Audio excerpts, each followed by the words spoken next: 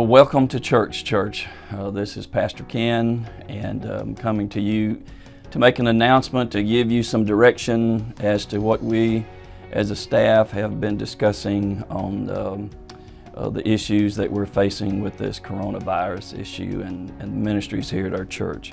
I want to greet you first of all uh, with a word of encouragement uh, from God's Word. It comes from Philippians chapter 1, verses 2 through 6. This is what it says Grace to you and peace from God our Father and the Lord Jesus Christ. I thank my God upon every remembrance of you, always in every prayer of mine, making requests for you all with joy, for your fellowship in the gospel from the first day until now, being confident of this very thing, that he who has begun a good work in you will perform it until the day of Jesus Christ. In other words, God's peace, God's presence, and God's purpose will always keep us in God's providence. I come to you today as your pastor to assure you that all of your pastors and staff are focusing on how we can walk through this difficult time together. Uh, there are plans that we have made, and I want to share with you some of those plans now. And of course, we will be constantly upgrading those uh, as uh, things change. First, we will for the first time be able to live stream our services. This is something we've been wanting to do for a long time, uh, but this was the, the impetus that gave us uh, the ability to do so. Plus, our trustees set aside the money uh, for us to be able to purchase this expensive equipment uh, so that, that, we'll be able to live stream. And it's something we're going to be able to use for the future, a great ministry for us as outreach. Uh, second, we're asking everyone this Sunday to please stay home and worship at home uh, and view the services online, not just for health and safety of our church body, but for you to be able to view the very first live stream and then to be able to contact us and communicate with us how that we can do it better. We want you to be our guinea pigs, I guess, so that you can see uh, the new system and then tell us uh, how it works and if it's working okay for you. So uh, please, unless you are a part uh, of the worship team itself, then we ask you to please stay home this Sunday and enjoy the services together as a family. In fact, fathers, uh, this is a great opportunity. Uh, we've been doing a series on home improvement and the place of the father in the home. This is a great opportunity for you as a father uh, to be the spiritual leader in your home and to lead the worship uh, and the time of being together there. Third, we're suspending all other services and ministry and activity here in our building. So we will focus only on the worship, worship service until further notice. What does that mean? Well, it means there will be no connection hour, uh, no Sunday night classes, no children's church, uh, no Wednesday night services or small group meetings, and no hospitality in the church foyer. The uh, things that we've had planned, the missions, silent auction, the baptismal service, and Class 101 will all be rescheduled. And we're looking at some ways to be able to offer those classes and things in our Bible studies and all of our staff is working on that so that we can stay uh, connected with you.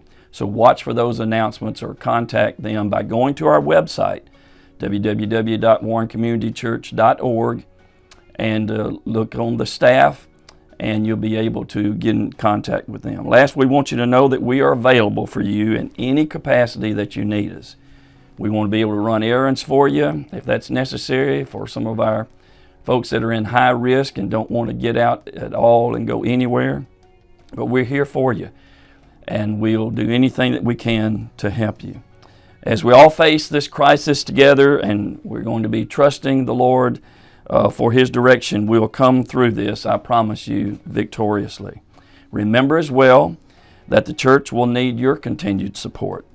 Uh, we uh, have to pay our bills, keep the utilities on, uh, all the other things, salaries and all those things. So as you pray and pray and pray uh, through this situation, please remember to support the church through this difficult, difficult time as well. So let me summarize the things that we are going to be doing.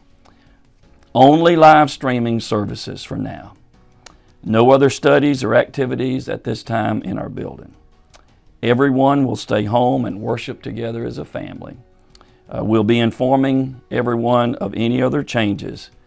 I want you to practice good health and hygiene and just good common sense as you go about your everyday.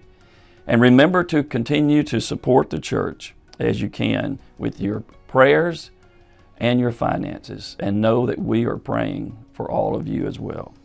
And then, of course, contact us for any need that you have by going to our website. Now, this Sunday, we're going to interrupt our series on home improvement, and I will be bringing a message called What to Do When You Don't Know What to Do. So until this Sunday, be praying, and I want to pray with you now, uh, just asking God to give us direction uh, through this difficult time. So, would you pray with me? Lord Jesus, um, we know that life is full of changes, and we know that life is full of difficulties. This is a change and a difficulty that uh, our church has never had to face. But we know, Lord, that uh, this is not a surprise to you. So we're trusting you and believing that you will guide and direct us and knowing that you will. We place our total trust on you. And as your word tells us to lean not into our own understanding, but in all of our ways acknowledge you, and you will direct our paths. So, Lord, we pray for your wisdom and for your direction, and to bless your church, Lord, as we see this opportunity. And as uh, Joseph said to his brothers, you meant this for evil, but God meant it for good. And I know that you're going to use this circumstance, no matter where it may have come from, for what purpose it was there, that you will use it to strengthen our faith, to draw us closer to you, and to allow your church to be the church victorious as we march on. And we thank you in Jesus' name. Well, God bless you, church. I look forward to speaking to you on Sunday.